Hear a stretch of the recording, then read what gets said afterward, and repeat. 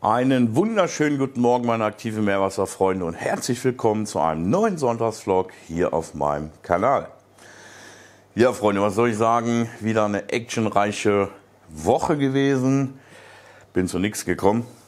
Und ähm, ja, dann hatten wir leider Gottes ja auch am Freitag, einige von euch werden es wahrscheinlich mitbekommen haben, ähm, ist unser guter Jake Adams verstorben. Ähm, ja, der Gründer von reefbuilders.com. Ja, eine der einschlägigsten Seiten, sage ich mal, wo wir Reefer halt immer sehr häufig draufgehen, neue Infos haben. Ich hatte tatsächlich Anfang der Woche noch mit ihm geschrieben gehabt, weil ähm, im Megazoo haben wir ja über die Firma Deltec halt diese Black Edition an Abschäumern vorgestellt. Und ähm, ja, ihr habt es wahrscheinlich gesehen, den Bericht hatte er noch reingestellt gehabt und ähm, wir hatten da auch nochmal gesprochen. Ja, von daher war das dann sehr tragisch, dass ich habe das dann auch am Freitag noch gesehen. Ähm, auf Facebook lesen konnte es eigentlich gar nicht glauben. Und ähm, ja, ist aber leider Gottes halt eben so passiert. Ähm, ja, auf einem Flug äh, ist er wohl zusammengebrochen, äh, ja, durch einen Herzinfarkt. Ja, ist natürlich schon ziemlich hart, ne? weil ähm, er war jetzt auch nicht wirklich alt. Und von daher ist das natürlich dann ja, sehr, sehr tragisch. Ja, wie gesagt, so ist das Leben. Was soll man machen? Ne? Wir wissen alle nicht, wann es zu Ende ist. Auch irgendwann wird für euch hier mal der Sonntagsvlog enden. Ähm, so sieht es leider Gottes aus. Ne? Und ähm, ja, ich bin jetzt da auch sehr gespannt, wie es da weitergehen wird. Und ähm, Tja, was soll ich da weiter zu sagen? So sieht die Geschichte leider Gottes aus, müssen wir alle mal mit rechnen. Kann uns jeden Tag treffen. Ja, ansonsten, ähm, wie gesagt, diese Woche relativ stressig gewesen, nicht so arbeitsmäßig, ich habe wirklich gar nichts geschafft und war ja dann dieses Wochenende quasi eingeladen bei der Sarah, Sarah Finaschrims. Ähm, die hatte mich jetzt vor ein paar Wochen kontaktiert und macht ja halt eben in Süßwasseraquaristik, ähm, Neocaridina oder halt auch Caridina jetzt mittlerweile, halt Süßwassergarnelen und würde ganz gerne mal jetzt ein Meerwasserbecken haben. Ja, und dann haben wir halt geschrieben, haben geguckt, ja, können wir gerne machen. Sie wollte da ein klein wenig Hilfe haben, hat dann halt gefragt, ob ich da nicht mal rumkommen könnte und ihr dann da helfe beim Einrichten des Beckens und und und. Und ja, das haben wir natürlich dann auch gemacht und ich habe auch die Kamera für euch mitgenommen. Und ähm, ich würde sagen, wir schauen uns das jetzt einfach mal an. Was wir da so gezaubert haben, haben wir erstmal den Grundstock gelegt, das Aquarium aufgebaut, Steinaufbau rein, aufgesalzen, Wasser rein, Strömungspumpe, soweit sind wir schon mal gekommen. Und jetzt wird das Ding erstmal laufen, aber das schauen wir uns jetzt halt mal an. So Freunde, und schwupp sind wir schon hier im schönen, wo sind wir hier nochmal? Rheinberg. Rheinberg. Niederrhein. Ja, kenne ich doch. Wir waren euch schon fast bei den Alpen, war ich ja schon. Fast zu weit gefahren. ja, Freunde, wie ich euch schon kurz angeteasert hatte gestern auf Instagram, ähm, heute bin ich bei der Sarah zu Gast. Und Sarah möchte jetzt auch mal in die Meerwasseraquaristik einsteigen und es wird ein Garnelenbecken. Du willst überwiegend Garnelen, glaube ich, halt später ja. mal züchten auch versuchen. Versuchen auf jeden Fall. Möchte ja. ich äh, die Hohlkreuzgarnelen finde ich super interessant, aber du hast ja auch schon von anderen Arten noch erzählt. Ja, ich habe gesagt, es wäre vielleicht mal interessanter, ne? weil die Sexy Shrimps heißen sie ja, die Hohlkreuzgarnele. Ähm, die kann man ja schon nachzüchten, das wissen wir ja. Und es gibt aber noch ein paar andere. Und nächste Woche bin ich dann auch noch mal mit der Sandra unterwegs. Da sind wir da beim Coral Master in Wiesbaden. Und dann gucken wir mal, dass wir für dich auch noch ein paar schöne Garnelen da finden. Da freue ich mich auch schon drauf. Und vielleicht hast du ja dann auch mal Glück, die Garnelen mal zu züchten. Ich bin gespannt. Das wäre vielleicht mal eine gute Sache. Weil da gibt es so richtig schöne Meerwasser auch. Ähm, sind natürlich auch viele, die relativ selten vertreten sind. Mhm. Eben aufgrund, weil man sie nicht nachzüchten kann, ist es dann halt auch immer schwierig.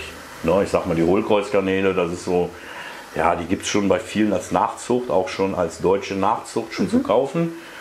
Ja, und wenn du vielleicht es schaffen solltest, auch da noch eine andere Sorte nachziehen das zu können. Ja ganz toll dann. Dann haben wir demnächst vielleicht noch mehr.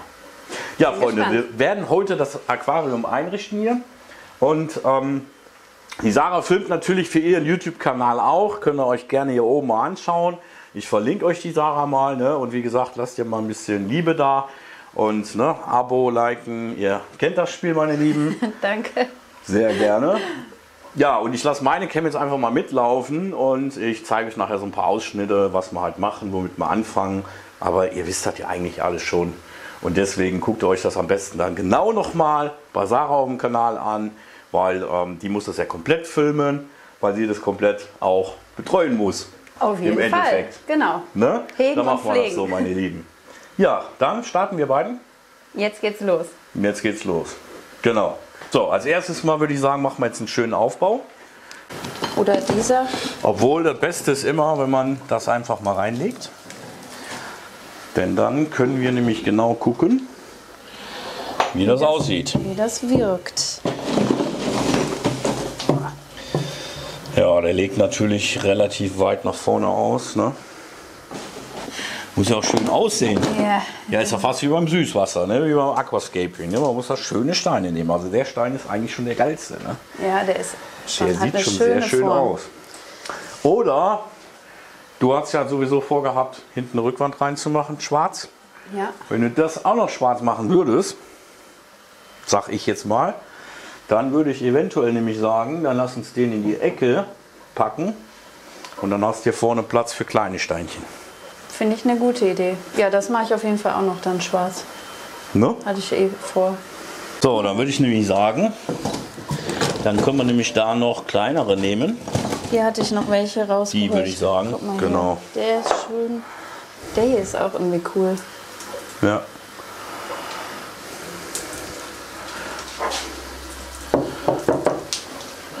So, und dann immer eigentlich nur darauf achten, dass wenn du so Gestein reinsetzt, das kommt erstmal auf eine Glasscheibe, dass kein Sand drunter ist, weil unterm Sand kann das später anfangen zu gammeln. Deswegen macht man den. Sand später drumherum beim Meerwasserbecken.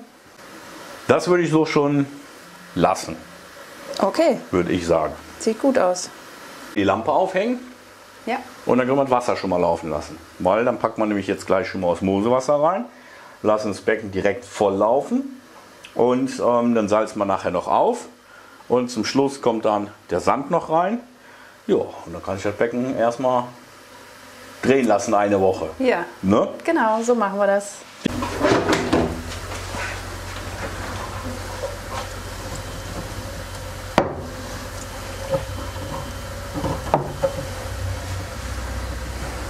Geht das? Ich habe sonst auch noch von meinem Greenscreen diese anderen Klammern. Gehen.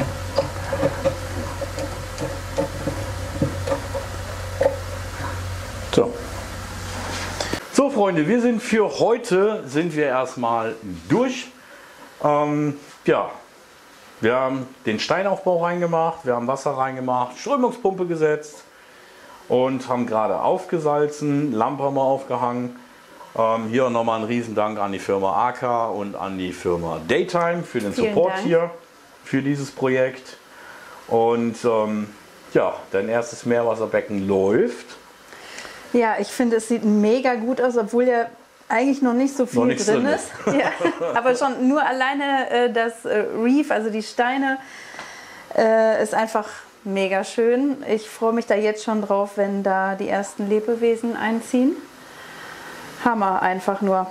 Ja, du musst jetzt morgen im Prinzip nur noch warten, bis sich das Salz komplett aufgelöst hat. Dann musst du gleich, das zeige ich dir, ihr kennt das ja alles, ich muss die Salinität ja noch messen. Ähm, dann musst du es morgen nochmal überprüfen, eventuell nochmal korrigieren, vielleicht noch ein bisschen Salz rein oder vielleicht ein bisschen Wasser, aber ich denke mal, wenn, sind wir drunter in der Salinität. Ähm, das kannst du dann noch anpassen. Ja, und dann kannst du morgen den Sand noch dabei packen. Ja, Und da sage ich wunderbar. dir dann auch noch, wie du das am besten machst. Ne, den machst du nämlich vorher sauber alles, ausspülen. Und dann nimmst du ein kleines Becherchen unter Wasser und lässt den unter Wasser raus. Und dann kannst du ihn wunderbar verteilen. Sehr schön. Ja, perfekt. So mache ich das. Ja, Freunde, dann sind wir an der Stelle jetzt erstmal durch. Wir sehen die Sarah auch schon nächste Woche wieder, weil nächste Woche dran denken ist Halloween Party beim Coral Master in Wiesbaden. Und ähm, ja, da sind wir ja dann auch nochmal am Start dann quasi die nächste Woche. Und ähm, dann kommen die ersten Tiere für das Projekt. Denn ihr wisst, ich besetze das immer relativ schnell alles. Von daher können wir nächste Woche da sofort den Besatz reinpacken. Ja, wir hatten ja auch schon kurz gesprochen, du machst ja auf jeden Fall ein Weichkorallenbecken, werden wir ja. daraus machen, weil es hier eigentlich grundsätzlich um die Garnelenzucht geht. Ne, wie gesagt, gerne hier oben nochmal den Kanal besuchen. Ähm, Sarah züchtet ja normalerweise Garnelen im Süßwasserbereich schon viele, viele Jahre und möchte sich jetzt gerne mal im Meerwasser versuchen. Und ja, da bin ich auch schon mal ganz gespannt, ob du das hinkriegst. Ja, ist wieder eine neue Herausforderung. Ich habe ja angefangen mit Neocardinas, also mit Leitungswasser und bin dann äh, nach zwei Jahren ungefähr umgestiegen auf Caridinas, also mit Osmosewasser. Und da hatte ich anfangs auch erstmal so ein bisschen Bammel vor, wieder was Neues. Ne? Mhm. Ähm, passen die Werte immer alle, aber ähm, im Endeffekt ist das jetzt auch ähm, ja, alltäglich Brot. Und deswegen brauchte ich jetzt auch mal wieder eine neue Herausforderung und da freue ich mich wirklich mega drauf, dieses Projekt dann auch äh, weiter zu hegen und zu pflegen. Ja, das wirst du schon hinkriegen. Meerwasser ist leichter wie Süßwasser. würde ich heute behaupten. Ich meine, was sagt ihr? Haut es mal gerne unten in die Kommentare rein. Aber ich würde behaupten, das kriegst du auf jeden Fall hin. Also wenn ihr das hier, die seht ihr jetzt nicht, die Süßwasseranlage im Hintergrund, wenn ihr das so gut hinkriegst, dann kriegst du Meerwasser auf jeden Fall auch hin. Okay, das baut das mich auch. schon schaffen. Gehe ich schwer von aus. So Freunde, wir gucken jetzt mal, was ich sonst noch für euch habe hier im Sonntagsvlog und hier sind wir jetzt erstmal raus. Bis dahin. Tschüss. Tja, weiterhin ist dann noch hier angekommen, diese Woche halt eben äh, eine Lieferung von Oceamo. Der liebe Christoph hatte ja die ICP MS ausgewertet. Hier haben wir auch direkt wieder eine neue bekommen. Ja, und dann hatte mir Christoph ja halt eben die Custom Elements geschickt. Ähm, das ist ja so eine Geschichte, da hat man ja halt eben gesagt, wir probieren das mal aus, weil ich weiß nicht, ob alle von euch das schon kennen. Ich finde das eigentlich eine super geile Lösung, weil ihr müsst euch halt vorstellen, das Ding ist halt, ihr macht eine ECP und oftmals, es kommt ja einfach super oft vor, dass halt die anderen Anbieter einfach sagen, okay, du brauchst dieses Element, jenes Element, ja. Und oftmals sind es ja auch teilweise die Elemente, die halt in riesengroßen 1 Liter Flaschen verkauft werden. Ähm, ihr müsst dann eine Literflasche kaufen für 40, 50, 60 Euro ähm, und müsst eigentlich von diesem Element nur ganz geringe Mengen auswechseln. So. Ähm, da ist das mit den Kastenelements in meinen Augen eine echt fortschrittliche Sache, weil Christoph mischt euch das hier an. Ähm, so wie wir jetzt hier sehen können, äh, ist da halt eine Anleitung mit dabei. Da steht dann halt eben genau drauf, zu dieser MS, die halt eingelöst wurde, oder auch ICP, also es muss jetzt keine MS sein. Ähm, ne, das Beckenvolumen bei 40 Liter, ihr müsst natürlich korrekt eure Angaben machen, wie viel Liter in dem Becken sind, weil das wird ja halt eben punktgenau umgerechnet. Ähm, wird dann hier halt angegeben, was wir hier drinnen haben, was für Stoffe und die tägliche Dosiermenge. Und ähm, ja, ihr bekommt das genau vom Christoph angegeben. Und ähm, ja, ich werde jetzt einfach hingehen, das halt so dosieren, wie es halt hier drauf steht, in der Mengenangabe und dann ist das Becken letztendlich wieder auf Spur sozusagen. Wir hatten jetzt in meinem Falle, hatten wir ja in der ECP gesehen, dass wir halt auch Sachen haben, die zu hoch waren. Ähm, zwar nicht kritisch, aber halt eben zu hoch waren. Gut, die kriegen wir natürlich nicht raus. Da gibt es natürlich auch keine Custom Elements für.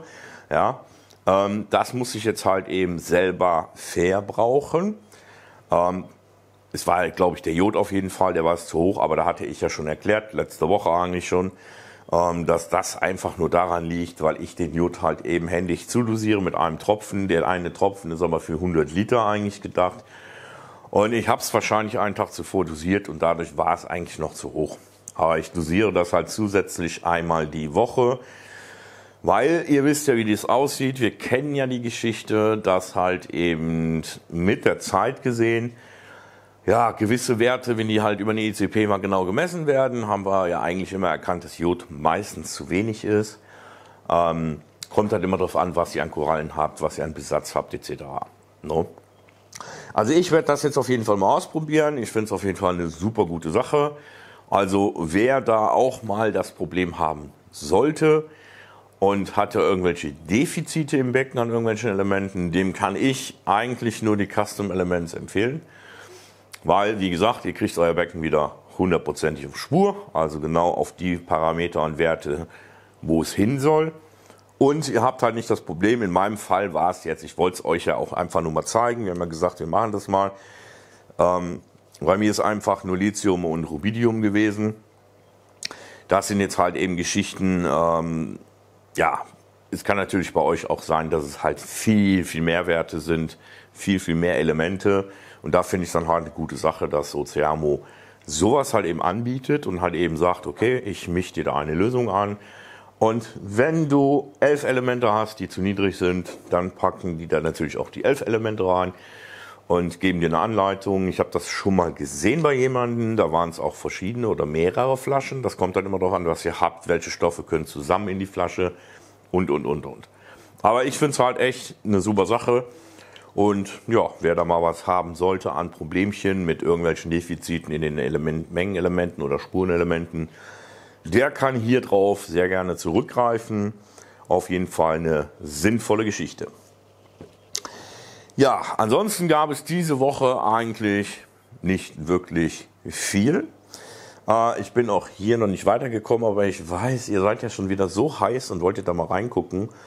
Und ich würde einfach mal sagen, wir gucken jetzt zusammen hier schon mal rein. Ich will es euch noch nicht im kompletten Werk zeigen, weil es auch noch nicht ganz fertig ist. Aber wir machen mal so ein bisschen Makroaufnahmen. Da können wir auf jeden Fall da schon mal reinschauen. So, Freunde, dann gucken wir mal rein ins Reef Factory Projekt. Ähm, ja, da haben wir auf jeden Fall hier schon mal eine Lobophilia. Ähm, ja, wir haben jetzt ganz früh am Morgen, also ihr bekommt auch heute einen ganz, ganz frischen Vlog, bekommt ihr heute hier. Ähm, da ich das gestern nicht mehr geschafft habe, muss ich den tatsächlich heute Morgen noch drehen und deswegen ist auch noch hier alles zu. Ich habe das Beck noch gerade aus seinem Tiefschlaf erweckt und äh, bekommt ihr halt mal ganz frische Aufnahmen heute. Ja, dann haben wir hier auf jeden Fall auch noch die schöne Musselaya.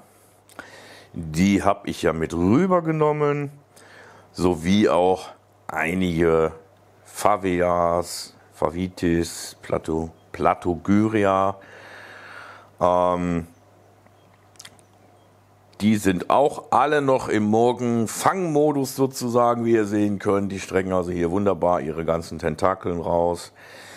Ähm, ja, dann habe ich ja gesagt, dass ich auch alles an Bauer Bankis mir mal so ein bisschen was sammeln werde. Ich habe mir so ein kleines Banky-Feld hier gemacht. Äh, auch wieder alles Tiere, die ihr eigentlich schon kennt und schon mal gesehen habt, die also immer noch da sind. Ähm, die sind jetzt im Prinzip aus dem Kallax Reef hier rübergewandert ähm, und sind natürlich auch alle schwerst im Fangmodus, wie ihr sehen könnt. Ja, und da haben wir hier mal so ein paar kleine Makroshots gemacht. Einfach mal nur aus der Nähe gezeigt, weil das Ganze bin ich, wie gesagt, noch ein bisschen am Zusammenrücken. Ähm, da weiß ich noch gar nicht hundertprozentig, wie ich das machen soll, was da noch reinkommen wird, ähm, etc. pp. Da müssen wir halt mal alles mal schauen. Ja, wie gesagt, da schauen wir jetzt halt mal, was da noch alles reinkommen wird. Ich bin halt auch noch ein bisschen am Überlegen, habe auch vieles jetzt erstmal nur reingestellt. Ich muss aber auch hier halt auch noch zusätzlich schauen, dass ich hier noch die Resttechnik verbau. Wie gesagt, wir wollen ja hier einfach mal ein ja, Refactory-Projekt fahren. Es wird alles an Technik, was möglich sein wird oder was die Refactory zu bieten hat, wird halt eben definitiv in diesem Projekt verbaut. Wie gesagt, wir haben alles schon drinnen zum Großteil, was wir haben. Ich muss jetzt noch halt eben den äh, KH-Keeper zum Beispiel, den muss ich jetzt halt noch komplett fertig installieren und einrichten etc. Den habe ich noch nicht geschafft, der Rest ist schon alles verbaut. Ähm, ja, und dann kommen ja da noch zusätzlich Sachen dabei. Es werden ja noch so ein paar Sachen kommen, sogar dieses Jahr kommt da noch was äh, von der Firma Refactory. Und dann werden wir das ganze Ding einfach mal testen. Wir werden einfach mal schauen, wie funktioniert das? Wie läuft das? Wie zuverlässig ist die Technik? Was wird da alles passieren? Auch hier nochmal ein kleiner Tipp an diesem Rande. Ich denke mal, ihr werdet alle die E-Mail bekommen haben, zumindest sowieso auch die Leute, die schon Geräte der Refactory haben. Ähm, diese Woche, Montag, hatte die Refactory ja wie versprochen ihr Statement abgegeben, was halt mit den Gerätschaften passiert ist. Ähm, dass es eine Charge halt betraf, wo halt ähm, ja, ein defektes Bauteil halt verbaut wurde vom Zulieferer und ähm, die haben den Fehler halt rekonstruiert. Und da werden ja jetzt auch halt eben in Deutschland Dosierpumpen zurückgerufen. Äh, ich denke mal, wie gesagt, ein, solltet ihr eigentlich die E-Mail bekommen haben, beziehungsweise wer halt Gerätschaften hat, hat ja auch dann im Dashboard eine Benachrichtigung bekommen. Ähm, da könnt ihr noch gerne nochmal nachschauen. Da könnt ihr halt auf eine Website gehen und könnt halt die Seriennummer eurer Pumpe eingeben und halt eben nachprüfen, ob es halt eben der Fall ist, dass eure Pumpe halt eben ausgetauscht werden muss. Äh, in meinem Falle kann ich einfach mal dabei sagen, weil war relativ lustig. Mich hatten dann tatsächlich noch sehr, sehr viele über Instagram angeschrieben und haben gesagt, ja, das kann ja nicht wahr sein mit den Pumpen und und und. Ähm, und gefühlt jeder muss seine Pumpe zurückgeben und tauschen. Und ich hatte ja an dem Tag, wo wir das Event hatten im Megazoo, hatte ich ja mit der Refactory gesprochen. Die waren ja da, haben mir das auch eigentlich schon alles erzählt, was sie machen werden, die Aktionen, dass sie alles geprüft haben, etc.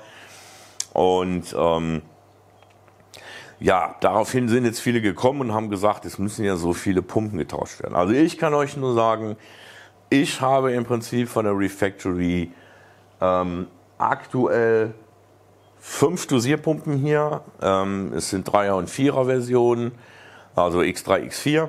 Und davon muss eine zurück. Ne? So, und das ist eigentlich die, die als letzte gekommen war tatsächlich.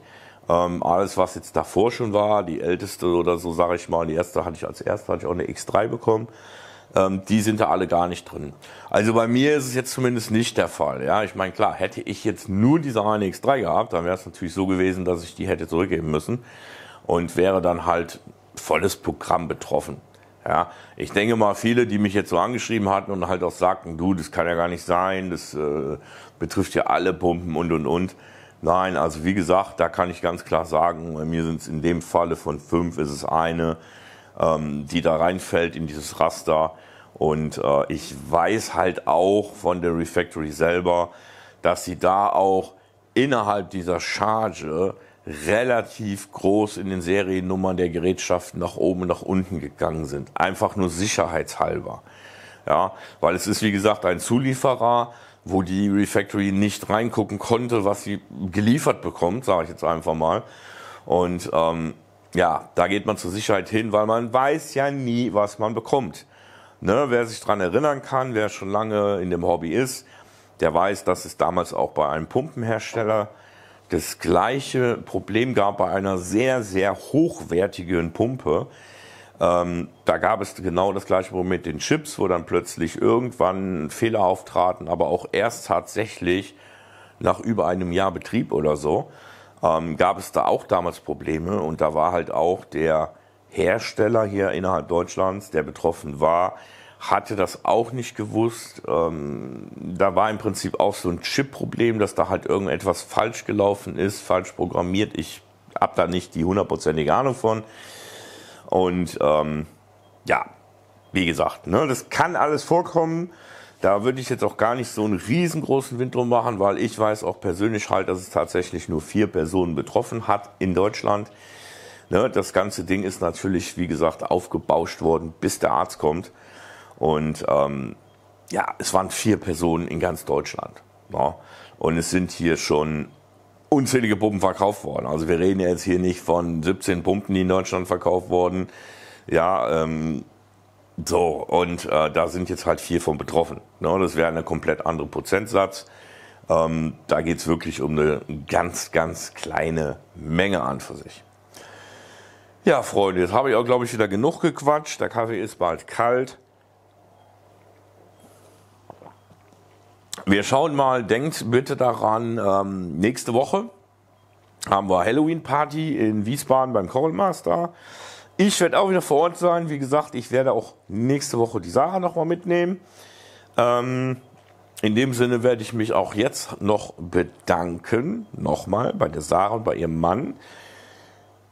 Super Essen gab es gestern. Der Mann hat extra noch 22 Stunden lang hat er Pulled Pork ähm, im Smoker garen lassen. Ähm, war super, super lecker gewesen. Ähm, es war gestern ein wunderbarer Tag für mich. Ich habe mich wirklich gefreut, die beiden kennenzulernen. Es war ganz super Liebe. Wer die auch kennenlernen möchte, wie gesagt, nächste Woche gerne zum Coral Master kommen. Weil, meine Lieben, denkt dran, der Coral Master hat ein super geiles neues Futter entwickelt. Ähm, hat echt lange gedauert. Und ich kann schon mal so ein kleines bisschen, kann ich schon mal rausflexen hier. Ähm, bei dem Futter geht es sich darum, wir haben, ihr wisst, wir haben oft das Problem und haben schon oft gesagt, Mensch, das mache ich, wenn ich in Urlaub gehe, will vernünftig meine Korallen füttern halt, ja, oder halt eben meine Meerwasserbecken mit Futter versorgen, möchte es aber gerne mit Artemia, Mysis etc. machen. Aber wie mache ich das? Wie halte ich das Futter so lange halt eben? Ja, ich müsste ja halt einen Futterautomaten haben, der Frostfutter füttern kann. Ja, wie mache ich das haltbar? Ich kann es so lange nicht in den Containern aufbewahren. Und hier hat tatsächlich ähm, Daniele ein Unternehmen beauftragt, die also wirklich lange, lange, lange, lange Zeit jetzt versucht haben, das hinzubekommen, dass das so konserviert werden kann. Und ich weiß, jetzt werden wieder viele sagen, ah, Konservierungsmittel und, und, und. Ich meine, gut, mal unter uns gesagt, die habt ihr heute in allen möglichen Mitteln drin. Hier haben wir aber eben genau das geschafft. Es ist ein voll biologisches Konservierungsmittel, was auf kompletter natureller Basis basiert. Und ihr mischt halt eben dieses Futter, weil es halt sehr ergiebig ist in den Flaschen, wie ihr es kauft. Es ist zu zähflüssig. Wir können es nicht mit einer zu dünnen Dosierpumpe dosieren. Ähm, das hat Daniela schon alles ausprobiert. Ähm, und aus dem Grunde äh, müsste man, wenn diese, es gibt zum Beispiel von GL, sag ich mal, diese großen Maxi-Pumpen, mit denen könntet ihr das in der puren Form dosieren. Das würde funktionieren, von den Schlauchgrößen her gesehen. Ähm, da müsstet ihr halt eben ansonsten runter verdünnen und das ist, weil es komplett biologisch halt auch alles ist und nichts chemisches oder synthetisches. Von daher könnt ihr da hingehen, das runter verdünnen mit frischem Meerwasser. Es muss frisch angesetztes Meerwasser sein, ist halt ganz wichtig. Warum? Genau, ihr kennt das Spiel. Wenn das verbrauchtes Wasser ist, also ne, wenn ich es jetzt hier rausnehmen würde, hier haben wir Bakterien drin etc., das würde sofort mit dem Futter reagieren. Das geht nicht. Ihr müsst also schon frisch angesetztes Meerwasser nehmen. Ähm, wir werden euch das aber noch mal im Einzelnen zeigen und erklären und machen und tun. Wer da halt eben Bock drauf hat, wie gesagt, nächste Woche gern zum Coral Master nach Wiesbaden kommen. Halloween Party. Ähm, und ja, wie gesagt, wer da Bock drauf hat, kommt dahin. So, Freunde, ich bin raus für heute. Vielen Dank fürs Zuschauen. Ne? Ihr kennt das Spiel, Däumchen ist ein Träumchen. Wenn ihr irgendwelche Fragen habt oder was auch immer, oder einfach auch gerne zwei Daumen geben wollt, dann macht es in den Kommentaren. Hau die Kommentare voll. Ne? Ihr wisst, der gute Algorithmus, der zählt. Leider Gottes heute. Von daher sehr gerne auch einen Kommentar da lassen. Und ich wünsche euch noch einen schönen, entspannten Sonntag, meine Lieben. Und wir sehen uns im nächsten Video. Bis dahin, euer Marc. Danke fürs Zuschauen. Ciao, ciao.